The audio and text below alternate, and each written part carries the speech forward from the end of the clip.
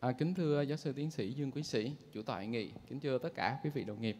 Đầu tiên thì tôi xin cảm ơn tất cả quý vị đồng nghiệp à, đến giờ này vẫn còn ngồi trong khán phòng này để chúng ta thảo luận về một cái đề tài mà tôi nghĩ rằng quý vị đồng nghiệp cũng sẽ gặp ở trên thực hành lâm sàng. Đó là cái vấn đề mình chỉ định một cái thở máy áp lực dương cho người bệnh phổi, cho cái người mà ngưng thở tắc nghẽn khí ngủ mà đồng mắc suy tim thì mình chỉ định như thế nào thì trong bài trình bày của tôi sẽ nói về ba phần. Phần thứ nhất là chúng ta sẽ nói về cái lý do vì sao chúng ta phải quan tâm đến đề tài này. Thứ hai chúng tôi sẽ nói về những cái thách thức trên thực hành lâm sàng chúng ta vẫn gặp khi mà gặp những cái đối tượng như vậy. Và thứ ba là những giải pháp chúng ta có thể thực hiện được. Và tôi xin nói đây là những giải pháp thực tế chúng ta có thể làm được chứ không phải chỉ là ở trong cái phần lý thuyết.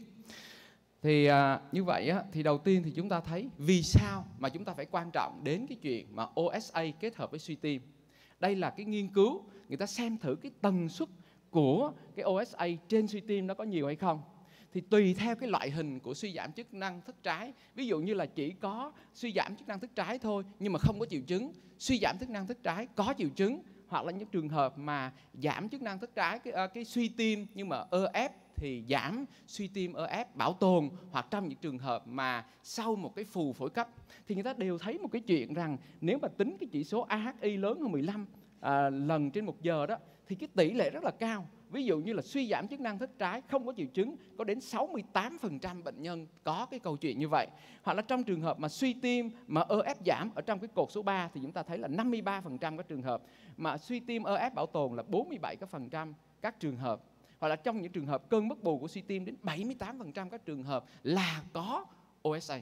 Như vậy thì chúng ta là những bác sĩ hô hấp sẽ được mời đến à, hội chẩn ở bên khoa tim mạch và chúng ta sẽ thấy đâu đó trong 10 bệnh nhân thì có 6, 7 hoặc 8 bệnh nhân là có vấn đề ngưng thở tắc nghẽn khi ngủ rồi. Ngưng thở tắc nghẽn khi ngủ OSA thực sự nó đã là làm nặng lên cái kết cục của bệnh suy tim. Ở đây là cái sơ đồ mà thể hiện cái sự ảnh hưởng này. Ví dụ như là có một cái ngưng thở tắc nghẽn khi ngủ, đầu tiên chúng ta cứ bị tắt thở, rồi thở lại, tắt thở, thở lại, làm chúng ta cứ hay bị thức giấc về đêm nhiều lần. Và khi thức giấc về đêm nhiều lần như vậy, nó sẽ kích hoạt hệ thống thần kinh giao cảm và nó gây nên một tình trạng tăng huyết áp cũng như là sơ hóa những cái động mạch. Ở trong những trường hợp mà giảm oxy, tăng oxy nhiều thì nó sẽ làm viêm cái lớp nội mạc mạch máu. Trong những cái trường hợp thay đổi về ngưng thở rồi lại giải quyết cái ngưng thở kiểu này nó làm thay đổi cái áp lực ở trong lòng ngực làm ảnh hưởng lên cái áp lực ở trong thất trái.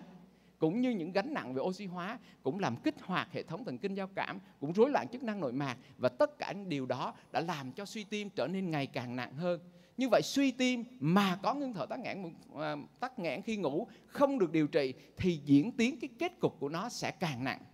Ngược lại, khi mà có suy tim như vậy thì chúng ta thấy có gì? Có một hiện tượng là ứ dịch ở trong toàn cơ thể. Và khi chúng ta nằm ngủ như vậy thì cái lượng dịch ở trong chân nó kéo về phía trên của phần đầu, nó tích tụ ở trong phần cổ của mình, làm nặng hơn tình trạng ngưng thở, tắc nghẽn khi ngủ. Như vậy, cái mối quan hệ giữa ngưng thở, tắc nghẽn khi ngủ và suy tim là mối quan hệ hai chiều thế thì điều trị ngưng thở tắc nghẽn khi ngủ trên bệnh nhân đồng mắc suy tim có làm cải thiện kết cục về tử vong của bệnh nhân này hay không? Đây là những nghiên cứu người ta có thể thấy được trên ở trong cái số so sánh với 258 người được điều trị còn 30.065 người à, không có được, được chẩn đoán và điều trị về cái việc này thì người ta thấy rằng à nếu mà anh có suy tim kèm với ngưng thở tắc nghẽn khi ngủ được điều trị bằng CPAP thì kết cục về lâu về dài của anh thì tỷ lệ tử vong được tốt hơn. Cái điều khó của chúng ta ở đây là gì? Đến hôm nay cái à, những cái kết quả đó được khẳng định bằng một cái thử nghiệm ngẫu nhiên mù đôi có trứng mà cỡ mẫu lớn thì chúng ta chưa có nhưng mà những cái nghiên cứu quan sát rất là nhiều nghiên cứu quan sát đều khẳng định được điều đó và những thử nghiệm ngẫu nhiên một đôi có trứng mà cỡ nhỏ khẳng định được điều đó trong tất cả những cái nghiên cứu người ta làm thì chỉ có một nghiên cứu randomized control trial là cho thấy không có hiệu quả mà thôi chính vì điều đó trong cái hướng dẫn của Hiệp hội Tim mạch Hoa Kỳ, người ta cũng khuyến cáo rằng người bệnh nhân bị suy tim mà ngưng thở tắc nghẽn khi ngủ thì cần phải được người điều trị ngưng thở tắc nghẽn khi ngủ bởi vì điều đó là rất có lợi cho bệnh nhân suy tim. Thế nhưng lại có một chuyện xảy ra trên đối tượng này, đó là tỷ lệ tuân thủ điều trị CPAP rất là thấp ở trên người bệnh nhân suy, bệnh nhân suy tim mà bị ngưng thở tắc nghẽn khi ngủ. Khi nói về vấn đề tuân thủ điều trị, người ta hay chơi một trò chơi gọi là trò chơi đổ lỗi. Bác sĩ bảo rằng, tôi đã kê cái thuốc, tôi đã kê cái thuốc này, tôi đã kê cái máy CPAP này cho bệnh nhân rồi, nhưng mà tại sao bệnh nhân lại không có đáp ứng điều trị? Tại sao bệnh nhân không sử dụng? Lỗi do người bệnh nhân người bệnh nhân lại bảo rằng, ôi, cái ông này cho tôi cái máy khó thở muốn chết, khó ngủ muốn chết, làm sao tôi có thể tuân thủ được? Ở đây chúng ta có câu chuyện tại anh, tại ả hay tại cả đôi bên. Vậy thì tôi là một bác sĩ, tôi phải trả lời một câu hỏi là gì? Vậy về phần của tôi, về lỗi của tôi, lỗi tại tôi mọi đàn, có phải vì trên người bệnh nhân này tôi đã chưa cho họ một chế độ điều trị phù hợp để mà họ có thể chấp nhận và tuân thủ chế độ điều trị CPAP tốt hơn không? Hay là chỉ vì họ không chịu tuân thủ cái điều mà tôi muốn họ làm? Và tôi là người bác sĩ sẽ tìm cách cải thiện tôi trước trước khi bắt buộc bệnh nhân tuân thủ tôi trả lời câu hỏi tại sao trên bệnh nhân suy tim lại tuân thủ điều trị kém như vậy thì người ta thấy rằng trên người bệnh nhân suy tim mà đồng mắc OSA á, thì cái triệu chứng của họ rất là khác biệt. Điểm khác biệt thứ nhất đó là họ không có buồn ngủ. Buồn ngủ ngày quá mức của họ rất là ít. Nếu chúng ta khảo sát một bệnh nhân bị ngưng thở tắc nghẽn khi ngủ thì triệu chứng là ban ngày có buồn ngủ không, có ngây ngật không? Câu trả lời thường là là có. Và khi mà người ta điều trị CPAP vô một cái, thì ngày hôm sau người ta thức dậy, cảm thấy sảng khoái quá, không còn buồn ngủ nữa. Và người ta tuân thủ điều trị CPAP nhưng người bệnh nhân suy tim thì không thế. Nghiên cứu thấy rằng là đến 1 phần 3 trường hợp mới có than biền, buồn ngủ ban ngày thôi. Còn 2 phần 3 phần trường hợp thì không có.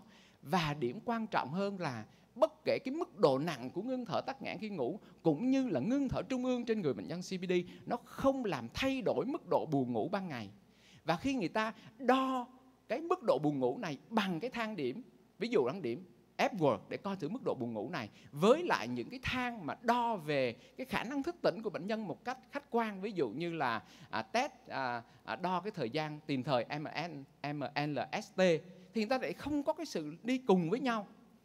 Và người ta đi sâu vào cơ chế người ta trả lời một câu chuyện rằng à thì ra những người mà bị suy tim, nó có một hiện tượng kích thích hệ thống thần kinh giao cảm rất là nhiều và khi kích thích giao cảm như thế, thì khả năng buồn ngủ họ không có có và ý nghĩa trên thực hành lâm sàng, đó là việc chẩn đoán thì dưới mức và điều trị thì không được tuân thủ cao. Đặc tính số 2 ở trên bệnh suy tim là gì? Là các triệu chứng lâm sàng của suy tim và triệu chứng lâm sàng của ngưng thở tắc nghẽn khi ngủ, nó lại tương đồng với nhau. Ví dụ như là bệnh nhân cũng sẽ có khó thở kịch phát vì đêm do suy tim hoặc là trên người đó đang bị ngưng thở thì nửa đêm họ có cũng thức dậy để thở cũng được xem là một khó thở kịch phát về đêm.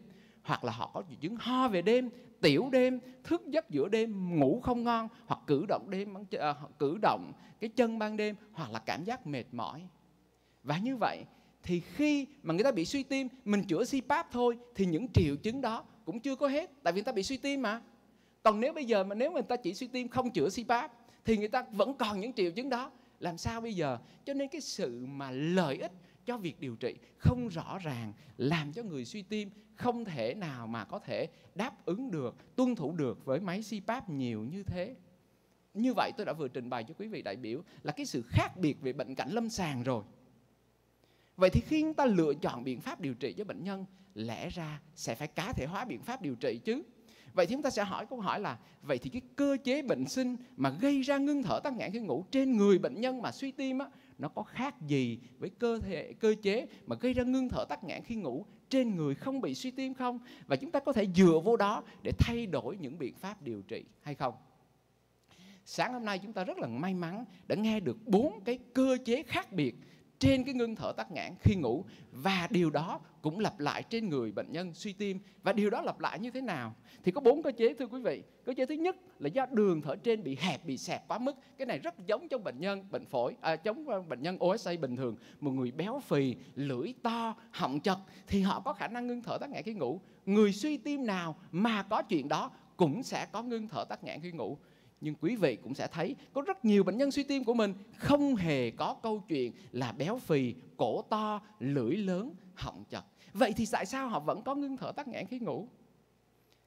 cái cơ chế số 2 là những cái cơ hầu họng ở trên cổ của mình nó đã bị nhão đi theo thời gian đặc biệt là trên những người bệnh suy tim mà cao tuổi điều này nó cũng phù hợp với ngưng thở tắc nghẽn khi ngủ bình thường nhưng mà cơ chế số 3 và số 4 là có sự khác biệt.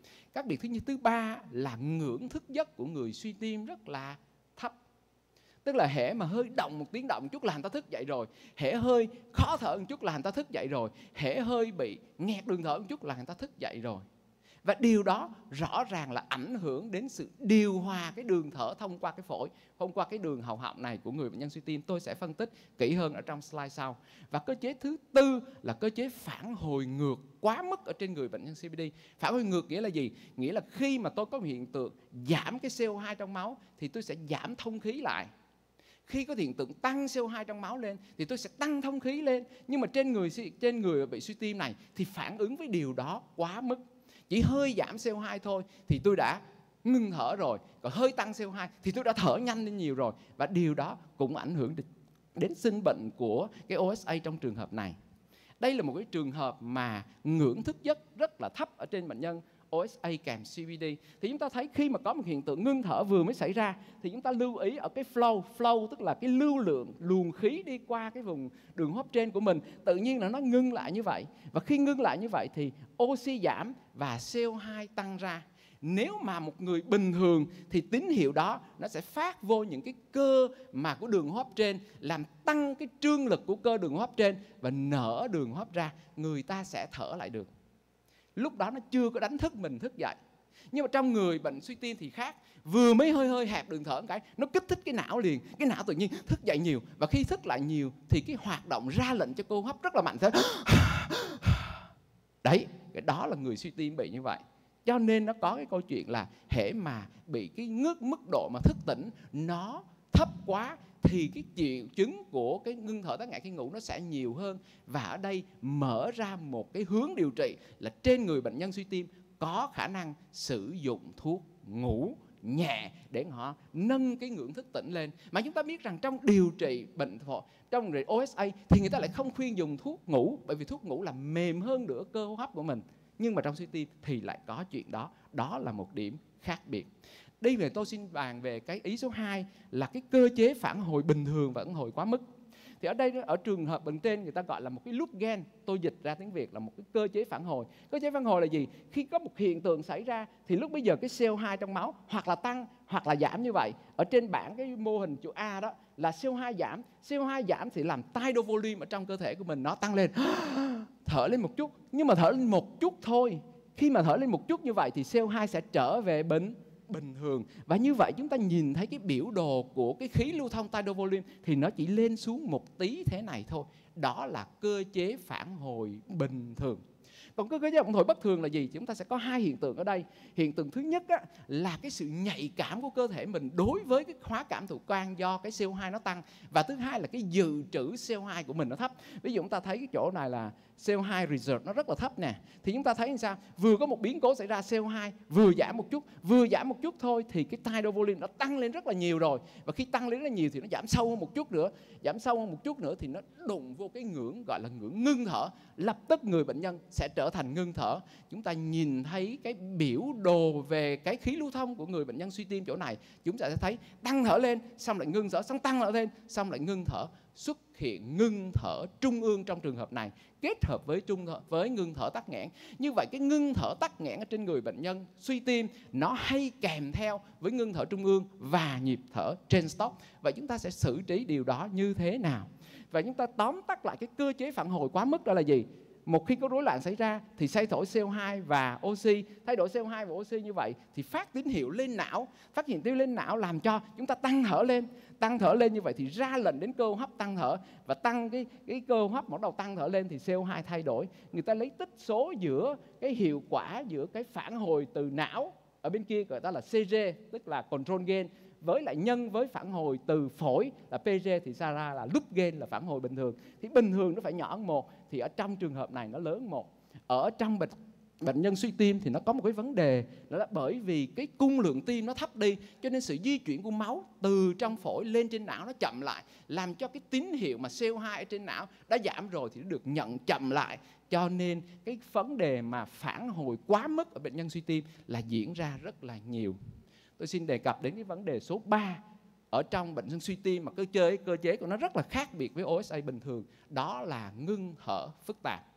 Nếu người ta có một, đo một cái đa ký hấp ra, một cái giấc ngủ ra, người ta thấy vừa có ngưng thở trung ương à, vừa ngưng thở trung ương, vừa ngưng thở tắc nghẽn thì người ta gọi là ngưng thở hỗn hợp.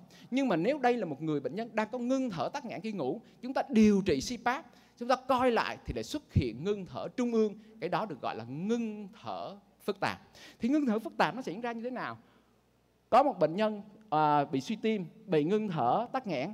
Vì một lý do gì đó làm bệnh nhân dễ thức tỉnh. Khi bệnh nhân dễ thức tỉnh như vậy thì cái sự điều hòa hô hấp nó quá mức làm CO2 nó sẽ giảm rất là nhiều. Và như thế khi nó giảm rất là nhiều như thế nó chạm vô ngưỡng ngưng thở thì xuất hiện ngưng thở trung ương. Đó là yếu tố thứ nhất. Nếu bệnh nhân suy tim mà dễ thức tỉnh quá thì dễ bị ngưng thở trung ương cái thứ hai, nếu bệnh nhân suy tim mà chúng ta điều, chúng ta hiệu chỉnh áp lực quá mức nghĩa chúng ta cho thở CPAP với áp lực nhiều hơn. Thở CPAP với cái sự mà mà mà mà pressure support, tức là hỗ trợ hô hấp nhiều quá, thì nó sẽ dẫn đến cái chuyện là tăng cái cái plan gain, tức là cái điều hòa của hô hấp, điều hòa của phổi, thì nó dẫn đến cái câu chuyện là phản hồi cũng quá mức, cũng xuất hiện ngưng thở trung ương luôn. Hoặc là trong những cái trường hợp của cái đường hô hấp trên ở trên này cũng dẫn đến ngưng thở trung ương nữa. Như vậy trong có ba điều cần phải lưu ý ở trong cái bệnh nhân suy tim này. Đấy, thì thứ nhất là cái triệu chứng lâm sàng nó không phù hợp, không có điển hình. Thứ hai là những cái cơ chế phản hồi ngược của nó bất thường. Và thứ ba là sự xuất hiện của ngưng thở phức tạp là những điều ta làm. Vậy thì đối diện với một cái bệnh cảnh mà suy tim cộng với ngưng thở tắc nghẽn khi ngủ như vậy thì chúng ta có những giải pháp nào để vượt qua điều đó? Nếu người ta nói về cái điều trị của một cái OSA bình thường thì ở bên này thôi OSA thôi. Nhưng mà trên bệnh nhân suy tim cộng với OSA thì lúc nào cũng phải đặt cái vai trò của CH CSA lên tức là ngưng thở tắc nghẽn tất nửa trung ương nó có kết hợp đến không? Thì tùy theo từng cái bệnh như vậy thì có những cái biện pháp ở dưới này. Đương nhiên trong đến thời, trong thời hạn của ngày hôm nay tôi sẽ tập trung nhiều vào việc chỉ định cái thở máy áp lực dương mà thôi thì chúng ta biết rằng đây là một cái phát đồ mà tiếp cận vô trong cái ngưng thở tắc nghẽn trên bệnh nhân suy tim. Nó tùy theo cái cơ chế bệnh sinh mà người bệnh đó có, mà chúng ta có những cái điều trị bổ sung thêm đương nhiên cái điều trị nền ở bên dưới vẫn là thở máy áp lực dương và những cái điều trị về tập thể dục giảm cân. Nhưng bên trên đó nó cũng có những thứ khác nữa. Ví dụ người này nó có một hiện tượng tăng cái cơ chế phản hồi ngược quá mức. Nó thể hiện bằng cái chỉ số ngưng thở trung ương rất nhiều. Thì lúc bây giờ điều trị của mình phải nghĩ đến vai trò của oxygen và acetazolamide. Nhưng mà nếu cái, cái cơ chế này là đường thở trên nó dễ bị hẹp quá lưỡi nó lớn quá cầm nó to quá cổ nó bự quá thì lại vai trò thêm là của dụng cụ đặt miệng hoặc là những phẫu thuật ở phía bên trên. Còn nếu đây trường trường hợp này là do cái trương lực đường thở nó kém quá, ví dụ mình khám bệnh nhân đó, mình hiểu chu môi lên không có làm được, thì đó là những cái vai trò của việc kích thích thần kinh hạ thiệt hoặc là luyện tập luyện tập cái cơ hầu họng. Còn nếu như mà trường hợp này là bệnh nhân dễ thức tỉnh, bác sĩ bác sĩ, em hãy hơi nằm một chút, hãy có gì đụng vô một cái, em tỉnh liền, thì trên người bệnh nhân suy tim đó cần phải được kê thêm một chút thuốc ngủ nữa mới được tôi tập trung về cái điều trị bằng máy thì chúng ta thấy rằng đây là những cái chế độ điều trị chúng ta sẽ có dùng CPAP, dùng BiPAP và dùng ASV. ASV tức là cái thông khí mà à, à, hiệu chỉnh mà theo cái sạc vô đó. Cái này là cái đặc biệt mà tôi sẽ nói thêm. Thì như vậy là của cái CPAP với BiPAP thì chúng ta cũng rành rất là rành rồi. Trong cái bối cảnh có tắc cản đường thở sử dụng CPAP và BiPAP nó tạo thành một cái nẹp khí ở trên đường thở làm cái đường thở nó không bị xẹp lại và đồng thời cái hiện tượng mà nó thở nó nở bung cái đường thở như vậy nó tạo điều kiện cho thông khí phổi một cách tốt hơn. Đấy. Thì đấy là của CPAP và BiPAP thì trong cái OSA bình thường thì mình đã biết chuyện này rồi. Đó đối với với cái ờ, cái cái trường hợp của CPAP hồi nãy là CPAP á, là tác dụng như vậy là trên OSA là tắc nghẽn đường thở. Bây giờ mình nói vậy trong trường hợp ngưng thở trung ương tại sao CPAP chỉ cung cấp áp lực dương mà cũng chữa được ngưng thở trung ương nữa? Bởi vì chúng ta biết rằng trong suy tim cộng với ngưng thở tắc nghẽn khi ngủ thì vẫn có thể dùng được cái CPAP BiPAP này và nó có thể ảnh hưởng lại ngưng thở trung ương nữa. Thì chúng ta thấy được rằng khi mà chúng ta dùng bypass CPAP thì chúng ta sẽ giảm được hậu tải của thất trái. Như vậy là vô hình chung tăng được chức năng của thất trái. Khi mà tăng được chức năng thất trái lên thì trở về phục hồi cái chức năng tim và khi mà làm chức năng tim tốt hơn thì cái ngưng thở tắc, ngưng thở trung ương nó sẽ giảm đi nó có thể cải thiện ơ ép trong một số trường hợp và giảm thời ma, thời gian của máu đi từ tim lên não. Và khi mà máu đi từ tim lên não nhanh hơn thì cái chuyện mà phản hồi quá mức nó sẽ giảm xuống và bypass CPAP hỗ trợ thông khí phổi nữa. Và khi nó tác dụng vô trong phổi như vậy thì làm phổi nó hoạt động tốt hơn. Và chúng ta biết được cái loop gain đó tức là cái cơ chế phản hồi là do cái phản hồi từ phổi nhân với phản hồi từ não. Nếu chúng ta có thể tác động vô cái phản hồi tại phổi tốt, làm cho cái hiệu số đó nó nhỏ hơn một, thì lúc bây giờ ta khử được cái ngưng thở trung ương ở đây nó có một cái trick, tức là một cái chỗ rất là, nếu chúng ta dùng máy thở áp lực dương vừa phải thì chúng ta có thể điều chỉnh được cái phản hồi quá mức nhỏ hơn một. Nhưng nếu tôi dùng cái áp lực dương quá mức hoặc dùng sai cách đi thì nó sẽ dẫn đến cái phản hồi quá mức và lúc đó đang chữa cái ngưng thở tắc nghẽn, chúng ta lại gây cho bệnh nhân khó thở cái cái cái ngưng thở trung ương nữa.